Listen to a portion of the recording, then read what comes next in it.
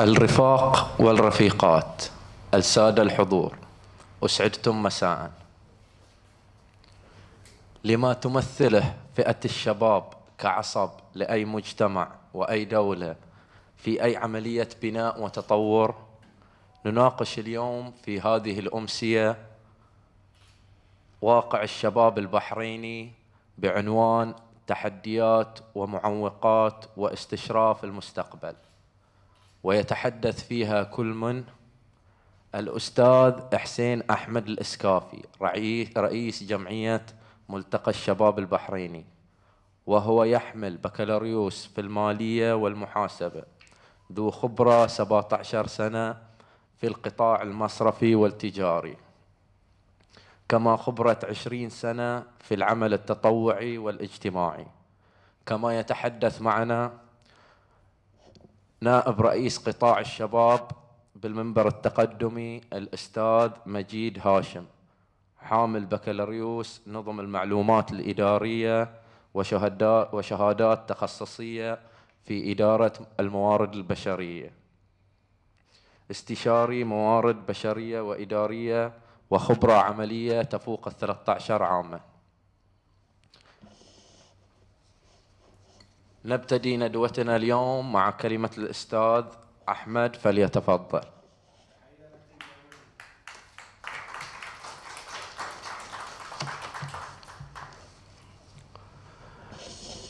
الأخوات والأخوة الأعزاء السلام عليكم ورحمة الله وبركاته. يطيب لي في البداية أن أشكر جمعية المنبر التقدمي على عقد هذه الندوة المهمة والتي تركز على قطاع مهم جدا في المجتمع ألا وهو قطاع الشباب. في الحقيقة عنوان هذه الندوة جدير بالاهتمام ويفتح فضاءات واسعة من البحث والجهد للتغلب على الكثير من التحديات المختلفة والمتعددة التي تواجه الشباب. قبل الدخول في صلب موضوع ندوة هذه الليلة أود أن أشيد بالاهتمام الرسمي الكبير بالاحتفال باليوم الدولي للشباب والذي صادف تاريخ 12 أغسطس أو الذي يصادف تاريخ 12 أغسطس من كل عام. حيث كان الاحتفاء بيوم الشباب العالمي هذا العام يحمل عنوان النهضة بالتعليم ولحسن الطالع أنه يأتي بالتزامن مع احتفالات مملكة البحرين هذا العام 2019 بمرور 100 عام على دخول التعليم النظامي في مملكة البحرين. بخصوص عنوان ندوة هذه الليلة واقع الشباب التحديات والمعوقات واستشراف المستقبل نبدأ باستعراض التحديات والمعوقات التي يواجهها الشباب بشكل عام في البحرين. أتمنى أن تشاركوني إذا أغفلت عن بعض هذه التحديات. طبعا أخونا آه، هاشم أكيد بيستعرض آه، نوعا ما هذه المواضيع. بداية يمكن يعني أنا يعني لخصت أبرز التحديات القلق من المستقبل والخوف من عدم تحقيق الذات. آه، يواجه الشباب والشابات هذا العنوان أن بعدة أسئلة. هل سوف أكمل الدراسة وأتخرج من الجامعة؟ هل سوف أحصل على وظيفة بعد التخرج؟ هل, سو هل سوف أكون لي أسرة؟ هل سوف يكون لي شأن في المجتمع؟ وتتوالى أسئلة هل المتعددة. التحدي الثاني الوظيفة والحصول عليها. وهنا يعني أضع بين قوسين شبح البطالة المتفشي. هذا من أكثر المواضيع حساسية والتي تؤرق الشباب والشابات على حد سواء خصوصا من يدرس من أجل الحصول على الوظيفة الحكومية سواء في القطاعين الخاص والعام كي يكمل ويبني مستقبله. هناك تحدي يمكن هذا تحدي جديد وهو التطور التكنولوجي وتأثيره على الوضع بشكل عام. التكنولوجيا بكل تأكيد يعني فيها من يعني الفائدة الكبيرة ولكن هناك جانب سلبي.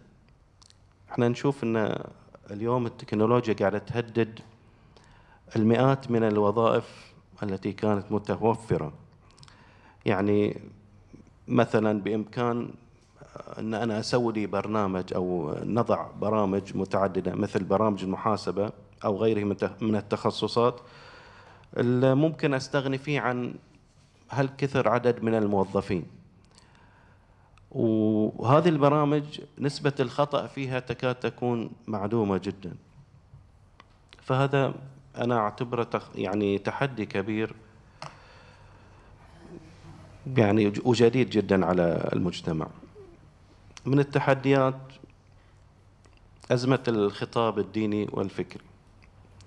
هذا أيضا من المواضيع اللي يمر فيها كل الشباب والشابات في مرحلة من مراحل حياتهم. إحنا نقول إن الوضع الطبيعي إن يعني الشباب مثلا يستقي معلوماته من المنابع الوسطية سواء في الأسرة أو المجتمع. لكن الخوف الكبير من تأثير التيارات الدينية والفكرية التي لديها موجات تطرف في وجهات النظر التي تحملها. هذا خوف شديد قد يعني يدفع الشباب إلى يعني بؤر ومساحات ممكن تأثر جدا على واقعنا. بشكل عام. تحدي آخر هو الواسطة في التوظيف. ما زالت عقلية آه هذا من جماعتنا وهذا من فريقنا السياسي هذا من آه مذهبنا هذا من عائلتنا هذا من منطقتنا مسيطرة على مبدأ تكافؤ الفرص. وهذا يعني هذا نلاحظه بشكل كبير جدا. ويحتاج وقفة يعني من أصحاب القرار. أيضا آه، منافسة الأجانب في الوظائف. اليوم صار الأجنبي ينافس أبناء البلد في كل شيء من ضمنه في الوظيفة. هو يجي برواتب متدنية زهيدة ويسوي نفس العمل يعني يمكن بعض الأرباب العمل مثلا يفضله على أساس أنه يقعد ساعات عمل أطول وبراتب أقل. وهذا بشكل عام يشكل منافسة إلى يعني المواطن. أيضا آه، عدم ديمومة المشاريع المتوسطة والصغيرة بسبب التنافس الشديد. يعني اليوم نشوف إحنا الشباب والشابات يتجهون إلى مشاريع بناء مشاريع وتأسيس مشاريع صغيرة ومتوسطة. ولكن دخول الأجانب أو هذول مال اللي هو الفيزا المرنة وقاعدين يعني يعني أنا مثلا لما بسوي مشروع وباخذ فيه يعني مبلغ خلينا نقول 100 أو 200 هذا يجيب 20 دينار يعني يعني شيء أنا ما أقدر أتصوره إنه هذا شلون قاعد ياخذ هذا المبلغ ويعيش فيه. عندنا تحدي عدم التمكن من دخول الجامعة عند بعض الشباب والشابات بسبب الرسوم الجامعية المرتفعة. يعني البعض يعني يخرج من بيئة يعني فقيرة أو يعني يعني متوسطة الدخل وما يقدر يعني أهله ما يقدرون يدفعون له رسوم الجامعة. وهذا بالنسبة للبعض تحدي. أن أنا خلاص ما أقدر أدش الجامعة وبالتالي أضطر أن أدخل سوق العمل بوظيفة وراتب متدني. عندنا تحدي أنه عدم الحصول على وظيفة في نفس التخصص. أنا أدرس آه، تخصص في الجامعة لمدة أربع أو خمس سنوات ولما أتخرج ما ألاقي وظيفة في نفس هذا التخصص. طبعا البعض ممكن أنه يروح إلى وظيفة بتخصص آخر ولكن يعني اليوم إحنا بعد نشوف شح الوظائف أو عدم تناسبها مع يعني واقعنا واقع الشباب بشكل عام في البحرين.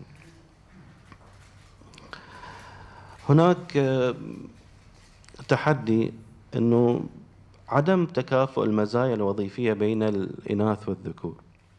يعني إن الشباب والشابات ممكن يتوظفون في نفس الوظيفة نفس التخصص لكن الراتب والمزايا اللي يحصل عليها الولد أكبر بكثير من الراتب والمزايا اللي تحصل عليها البنت.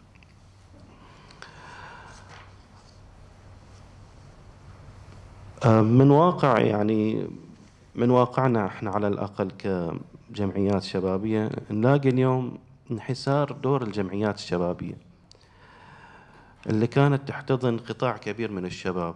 يعني يمكن مع بداية انطلاق المشروع الإصلاحي آه، وبداية تأسيس المجتمع المدني تأسست الجمعيات الشبابية كانت تستقطب عدد كبير من الشباب والشابات.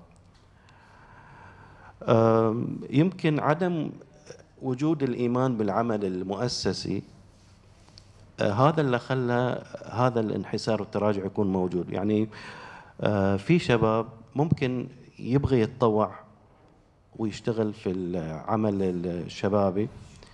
لكن كعمل مؤسسي هذا يعني آه، ما ما حد يبغي يشتغل بهاي الطريقة، الطريقة الهرمية وطريقة العمل المؤسسي. وهذا طبعا يأثر كثير خصوصا إن العمل التطوعي يشهد صعود وهبوط تبعا للمناخ السياسي. يعني نشوف إحنا اليوم يعني يمكن من 2010 أو 2011 بدأ العمل التطوعي والعمل الشبابي في حالة من الهبوط. أيضا عندنا نقص وضعف الحوار بين الشباب وعدم فهم وجهات النظر الأخرى. آه، ما زال عندنا عدم ثقافة تقبل الآخر بسبب اختلاف الديني المذهبي الفكري يعني ما زالت هناك جماعة أن أنا أعتقد أن أنا الفرقة الناجية وبالتالي البقية كلهم كلهم ضلال أو كلهم على يعني اختلاف معي وبالتالي أنا أشوف نفسي أنا الأفضل. هذا يعني تحدي أيضا كبير يواجه الشباب.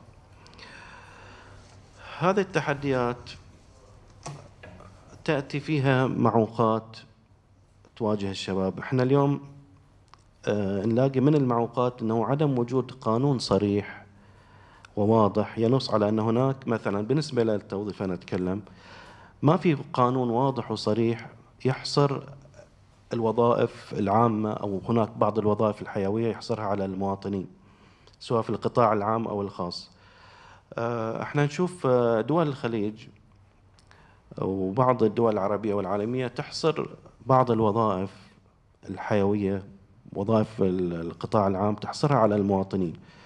يعني مؤخرا سمعنا في في عمان آه، طلع قانون سلطاني إن يحصر وظائف معينة فقط للمواطنين. إحنا في البحرين ما موجود عندنا هذا الشيء وهذا طبعا هذا يعتبر أحد المعوقات اللي تواجه الشباب. عندنا عدم توافق مخرجات التعليم مع متطلبات سوق العمل. إن أنا أدرس شيء لكن هذا الشيء ما ما, ما له وجود. قاعد يعني أخسر من عمري سنوات وفي الأخير أتفاجأ إنه هذا الدراسة أو التخصص اللي درسته ما له وظيفة. أيضا من المعوقات نلاحظ أن هناك تسهيلات كبيرة يحظى بها الأجنبي سواء في التوظيف تأسيس الشركات الصغيرة المتوسطة أيضا الكبيرة. وهذا جعلت آه، أن يكون في تراجع كبير في المشاريع المتوسطة والصغيرة اللي يعني يقوم بها أو يعني يمتلكها المواطنين. اليوم إحنا نشوف في شركات كثيرة قاعدة آه، تبند أو تسكر والسبب إنه يقول لك أنا ما أقدر أنافس الأجنبي. الأجنبي بدأ يعني يدخل أو يتغول في السوق. أه بروح أنا إلى يعني فقرة اللي هو استشراف المستقبل أساس ما أطول عليكم. إحنا نحتاج إلى أن يكون هناك يعني وزارة أو هيئة للتخطيط الاستراتيجي خصوصا في الجهات الحكومية. ونحتاج إلى إطلاق دراسات سيناريوهات لاستشراف مستقبل كافة القطاعات الحيوية ووضع الخطط والسياسات بناء على ذلك. إحنا أيضا بحاجة إلى استراتيجية تركز على المواضيع التالية.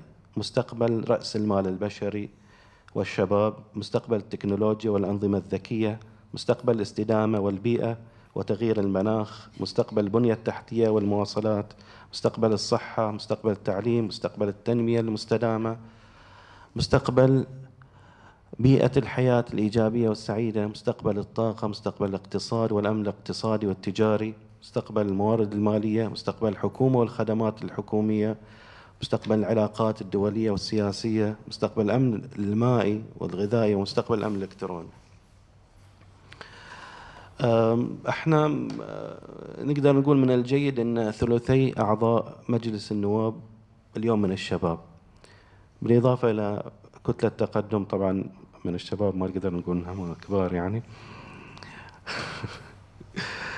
اللي ذكرناه من تحديات ومعوقات نجد أنفسنا بحاجة إلى صياغة قوانين تصب في صالح المواطنين والشباب بشكل خاص. باعتبارهم العصب الأساسي لمستقبل أي نهضة. القوانين هذه بحاجة إلى أن تأخذ صفة الإلزام خصوصا في بعض الجوانب التي تتعلق بالأمور المعيشية. نحن بحاجة إلى مراجعة التخصصات الجامعية والتي ما زالت تدرس في جامعة البحرين والجامعات الخاصة. في تصريح في 2017 لوزارة العمل يقول أن هناك 12 تخصص جامعي بلا فرص توظيف بمعنى أن تضيع على الطالب والطالبة فترات دراسية والمحصلة لا توجد أي وظيفة. إحنا بحاجة أن يكون هناك في وزارة العمل قسم خاص بالتخطيط الوظيفي يضع خطط بعيدة المدى وتتناقش هذه الخطط مع الجامعات مع جامعة البحرين والجامعات الخاصة. آه، إلى هنا أشكركم على حسن استماعكم.